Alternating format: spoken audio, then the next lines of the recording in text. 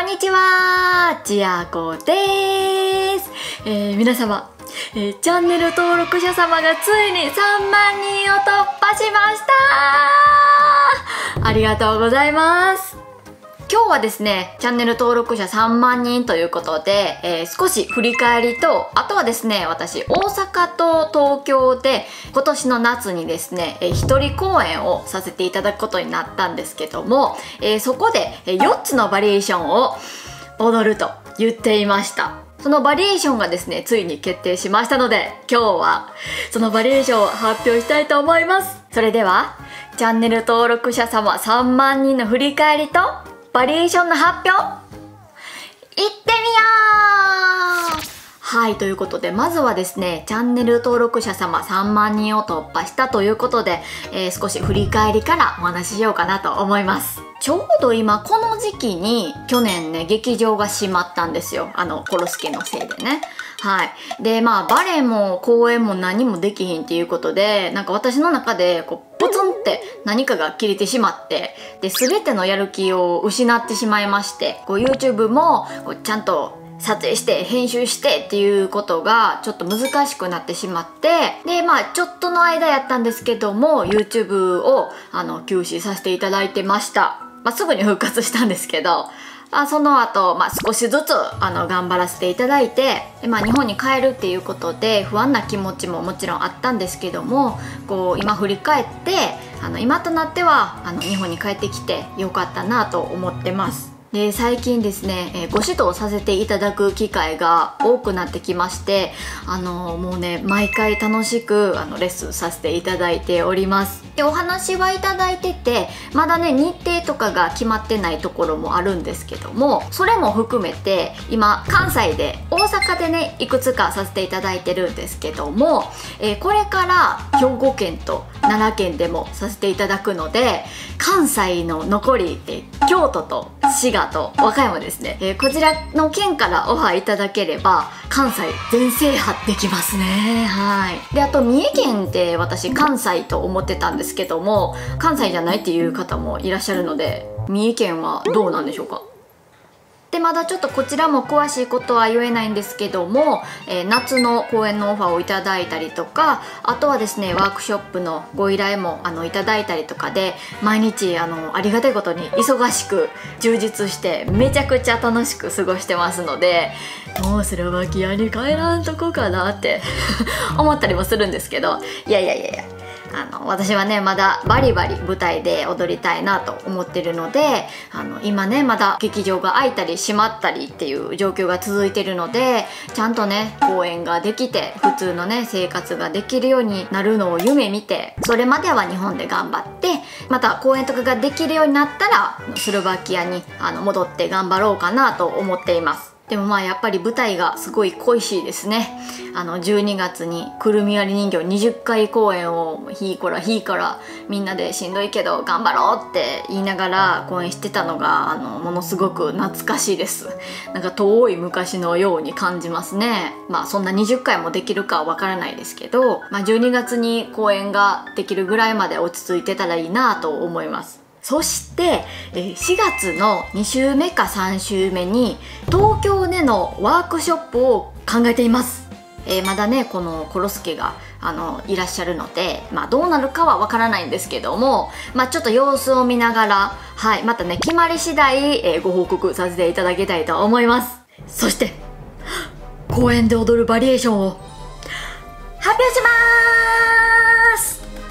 皆さん何やと思いますか？あのね、えっと、コメントにたくさんいただいてたので多分、えー想像つくバリエーションではないかなと思うんですけれどもまずは一つ目。聞き取りのバリエーションです。えーこちらがですねあのリクエスト非常に多かったです。まああまり驚かれていない方もいらっしゃるかと思うんですけども、えー、キトリのバリエーションはですねあのセンス持って頭にバラをつけて踊るやつです。ちやこチャンネルの動画でもこのキトリのバリエーションを解説した動画であったりとか踊ってみたりとかもしたんですけども、えー村の娘なんかな？で元気いっぱいのキトリちゃん女の子です。そして2つ目。キューピッドのバリエーションです。でそのキトリとキューピッドは「ドン・キホーテ」っていう作品に出てくるんですけども、えー、こちらのですねストーリー解説も、えー、必ずやりますので、えー、このねドン・キホーテの、え作品のストーリー解説を見てから皆さんぜひぜひあの見に来てください。そして3つ目ジゼルのバリエーションです。え、ジゼルちゃん女の子なんですけども、え、この子も、え、村の娘ちゃんです。でもそのキトリはさっき元気いっぱいって言ったんですけどこのジゼルちゃんはですね儚い病弱なちょっと消えていきそうなあのイメージの女の子なので、えー、私ちょっとキャラが違うかなと思うんですけども 元気いっぱいにならないように、はい、しっかり練習したいと思います。でジゼルのこのストーリー解説もまた絶対にやりますので、えー、こちらも楽しみにしててください。そして4つ目最後のバリエーションはですねシークレットですこちらはですね、公演が始まって、えー、最後のバリエーションですね、私が出てくるまでのお楽しみとなります。えー、もし、このバリエーションやなってものがありましたら、えー、コメント欄に書いてください。でめちゃくちゃあの踊るの楽しみなんですけどやっぱりその公演のね準備を進めていく中でやっぱり公演の資金ってあの結構でかかりますい、でこの夏ちょっとどうなってるかわからないですけど今ね制限がかかっている状態でお客さんをね風呂に入れることができないので、えー、ちょっとですねその資金調達っていうのが難しくなってきます。で、まあ、コロスケの状況もありますので大阪と東京まで見に来れないっていう方もいらっしゃるかと思いますので公演のね生配信をできたらなと思ってたんですけども、まあ、生配信ね何があるかあのわからないのででもお客さんを入れる数がちょっと制限されていたら資金的にもちょっと厳しいので私がいつも YouTube で撮影してるみたいな感じで公演の様子とか公演の裏側を撮影してでそれを編集して